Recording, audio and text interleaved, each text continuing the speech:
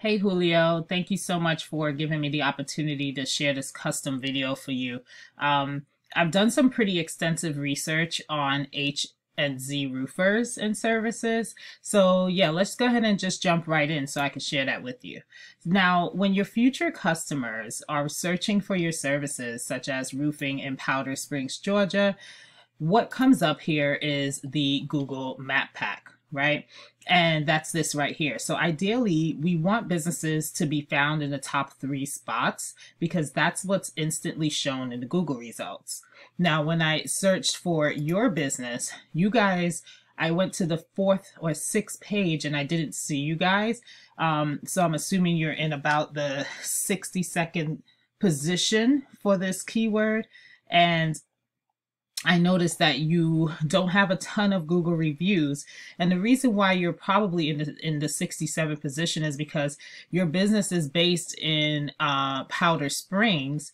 However, this Google business profile says Atlanta and nearby areas. So you might want to change this. You're going to need to change this to the number uh, to the area where you are located first your your number one area which is powder springs that is listed across the better business bureau etc right? Um and also this is telling me that you are going to have to add some more citations. Anytime your business name address and phone number are listed throughout the world wide web or throughout different directories such as yelp yellow pages etc um, that's considered a citation. So you'll want to take as many as your top competitor has. So that right here is Roof Expert and add an additional 50 citations on top of that amount because what that does is it puts you in a good safe zone by adding a gap in between so you can main, maintain your ranking once you're up in these higher listings. Now, the second thing that people are seeing when they search for your services are this area right here, which is called organic listings.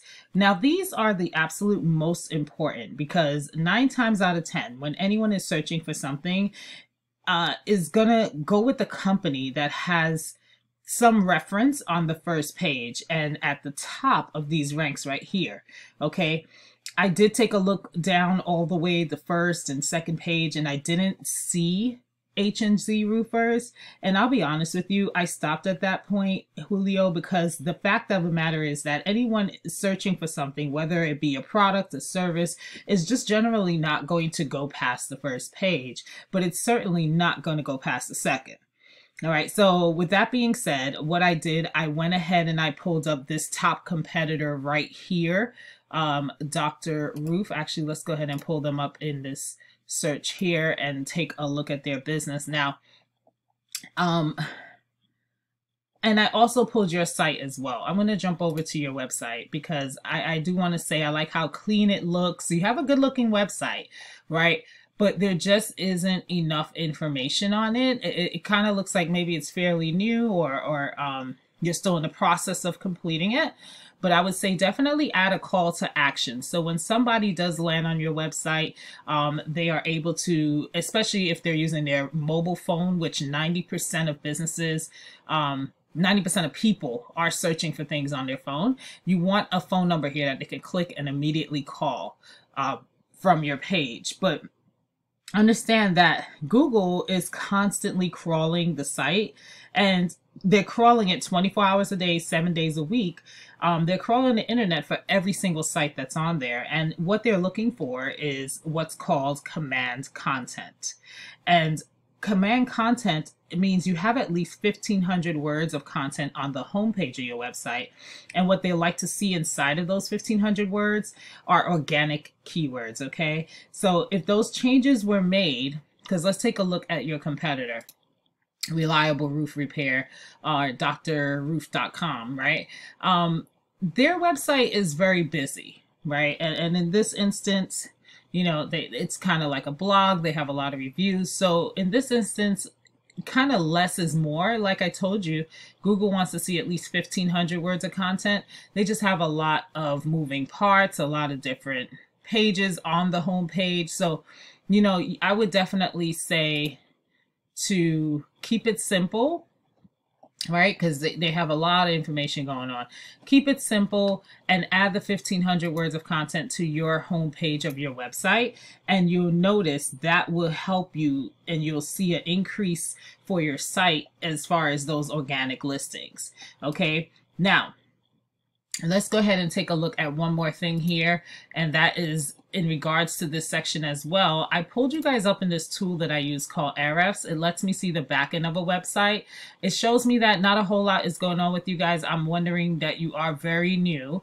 Congratulations to you on that, right? Um, and I went ahead and pulled up the competitor so you could figure out and take a look and see what exactly is it that you need to add to your website so you can start getting ranked. So for example, roof repair Johns Creek, right? This keyword right here 900 people search for this keyword per month. This company gets 320 calls from that one keyword, and they're in the number one position. So they get 320 leads out of those 900. You see that? Um, roof replacement Johns Creek. A thousand people look for that per month. They get 222 calls, and there is they're in the number one position. So you know these are buyer intent keywords. People are looking for this. People are looking for roof replacement, and you offer these same services. So there's no reason why a, a huge portion of this should not be going to your company, and you could start seeing your organic traffic increase. So these keywords that I'm talking about, this is the the command keywords that I'm mentioning in regards to what you need to add to your home page specifically of your website. So go ahead and get the content increased. Um, and again, you know, that's pretty, oh, and also the photos. Last thing I want to go over with you, the photos. Make sure you save the photos as the keywords because even though the Google robots aren't looking at how gorgeous your website is, right? Um, they are looking at the keywords and unless somebody already knows to look for H and Z roofers and services, you're going to want to save this as one of the keywords that you want to get ranked for. All right, that's all I have for you, Julio. If you want some help with this, I'm more than happy to assist. Feel free to give me a call. My number will be in the email. Have a good day.